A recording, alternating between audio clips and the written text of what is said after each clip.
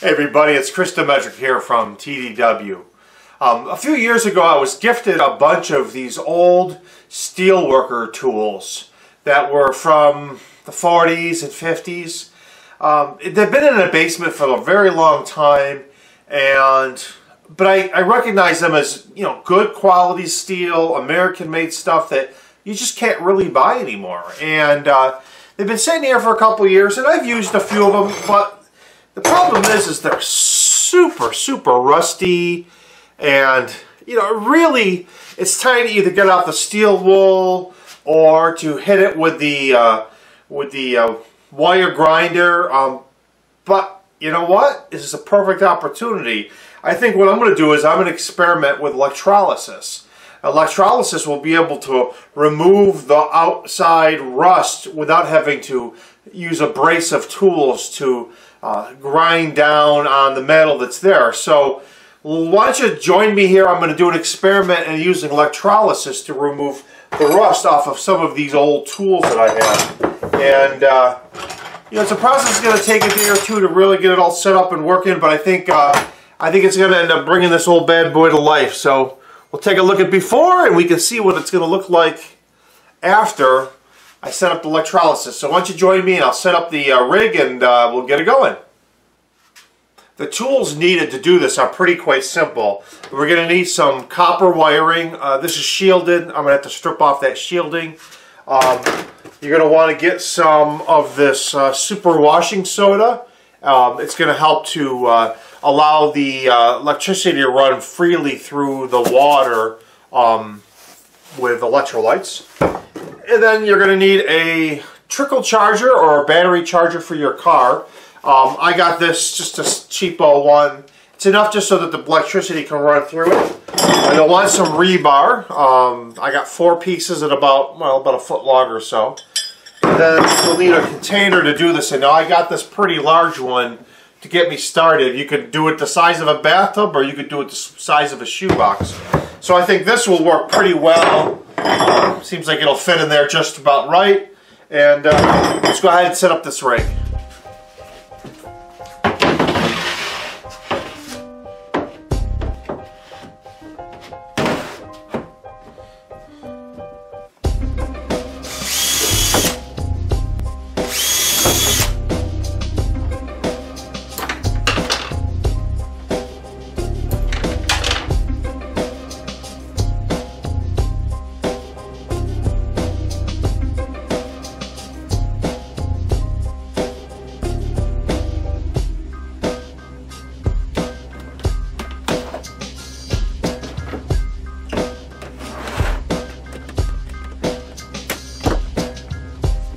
Right, there we go. I've got the uh, wire nuts all locking everything in place.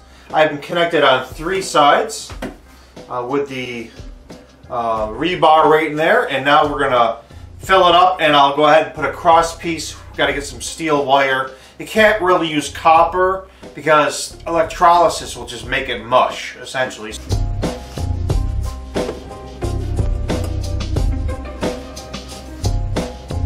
So I'm using a five gallon bucket and I'm going to fill it with water. And then I'd like to use about, this is a sodium carbonate, sort of like sodium bicarbonate, not quite baking soda, and it helps it to conduct electricity better. And, um, but about a tablespoon per gallon. I've got a five gallon bucket here. Whoa, that's two or three. Let's see, that would be four, Oh, five. All right, go close enough. I a little went over a little overboard, but it, it'll work out fine. And then I'll go ahead and pour this into the big bucket.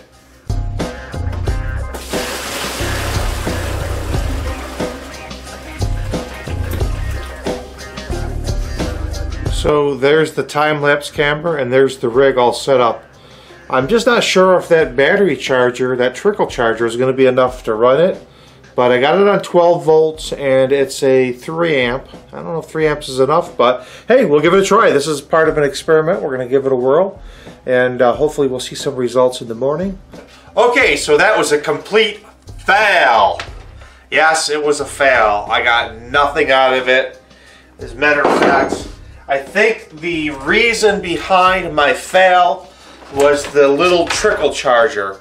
Uh, this is only a 3 amps and I just don't think it was enough power. I have this old little trickle charger I've had for probably 25 years.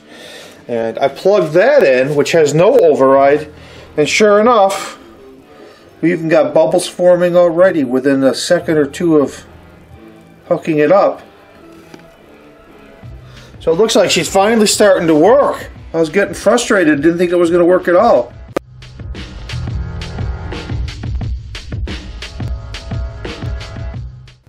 Well, so it's been in there for about a half a day, and I'm pretty sure it's all the rust that I need to get off of it's off, and if not, I can just put it right back in. So let's take it out, and you can see how the uh, sort of bubbled up where all of the rust has come off of there. And we'll take it out of there. Got a little kind of gunk on there so we'll wipe that off first.